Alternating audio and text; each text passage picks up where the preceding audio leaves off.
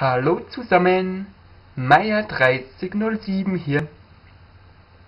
Ja, wir haben es jetzt Anfang November und darum kommt heute mein Monatsrückblick für den Oktober 2015 für euch. Ja, der Lesemonat war für mich ganz in Ordnung, denn ich habe fünf Bücher mit insgesamt 1287 Seiten gelesen, das heißt ungefähr 41,5 Seiten am Tag. Ein Schnitt, mit dem ich ganz zufrieden bin vor allem weil ja fast alle Bücher die Top-Note von 5 Sternen bekommen haben.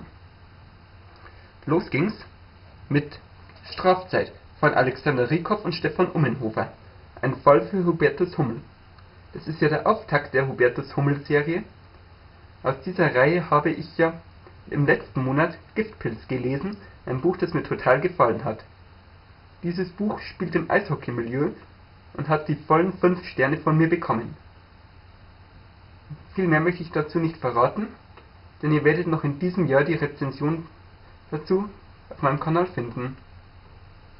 Und ich finde auch ein sehr, sehr schönes Cover, an dem man gleich erkennt, es geht ins Eishockey-Milieu mit diesen Schlittschuhen.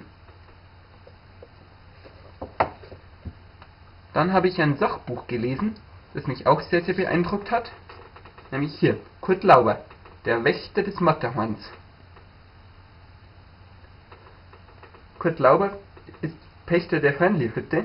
Es ist die Hütte unterhalb des Matterhorns, von der aus die Bergsteiger zum Hörnli-Grat aufbrechen, über den sie das Matterhorn besteigen.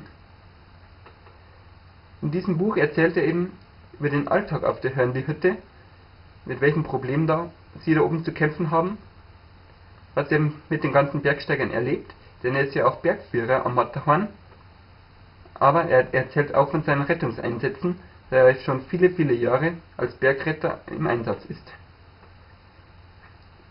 Und er konnte leider nicht alle Bergsteiger, die Verunglückten, retten. Ich fand dieses Buch total beeindruckend, es hat die vollen 5 Sterne von mir bekommen. Was mir auch gut gefällt, ist hier die Bebilderung.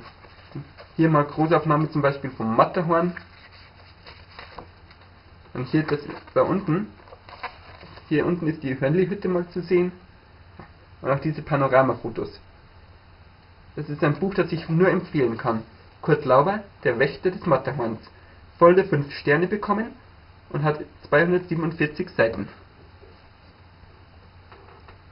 Dann kam wieder ein Krimi, nämlich ein Rezensionsexemplar aus dem Emons Verlag, Lammauftrieb von Richard Auer.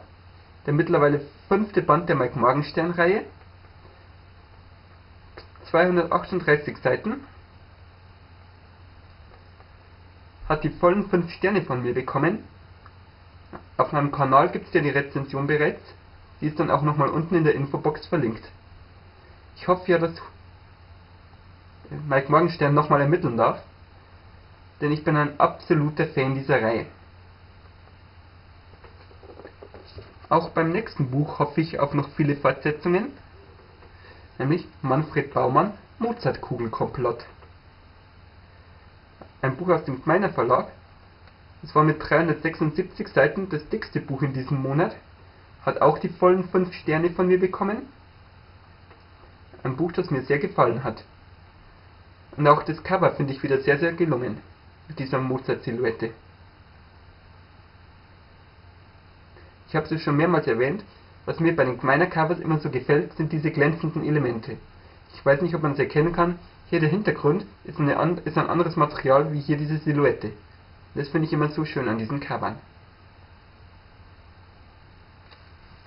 Ein Salzburg-Krimi, den ich nur empfehlen kann. Hat auch die vollen 5 Sterne bekommen und die Rezension dazu ist in der Infobox verlinkt.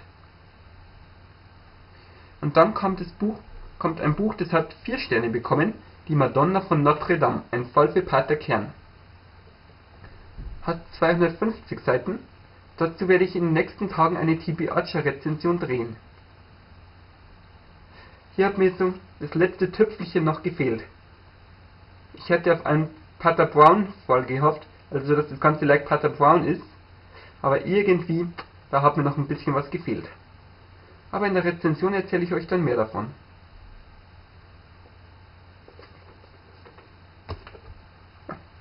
Das war jetzt mein Lesemonat. Wie gesagt, Fünf Bücher, ich bin zufrieden. Was habt ihr denn schon gelesen? Was habt ihr denn im letzten Monat gelesen? Und kennt ihr schon eines der Bücher, die ich jetzt präsentiert habe? Wenn ja, würde mich eure Meinung in den Kommentaren interessieren. Und jetzt bleibt bitte dran, denn jetzt kommt gleich noch mein Neuzugänge-Video. Also bis gleich. Meier 3007